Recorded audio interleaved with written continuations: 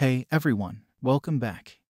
You've probably come across those flashy ads promising a fuel free, rechargeable electric lighter resistant to rain, wind, and snow, but is it too good to be true?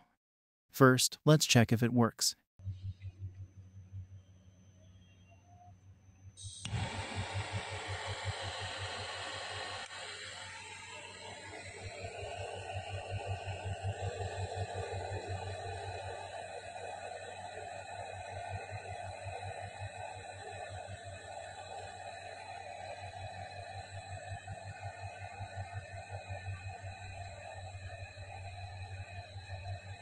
The product works fine in terms of being a butane lighter.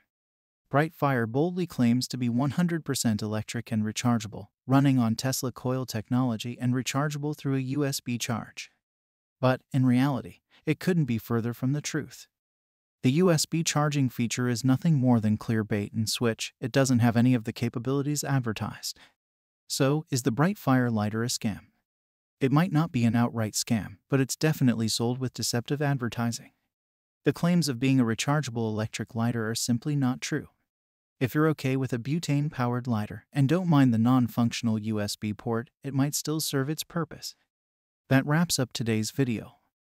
We hope you found this information helpful.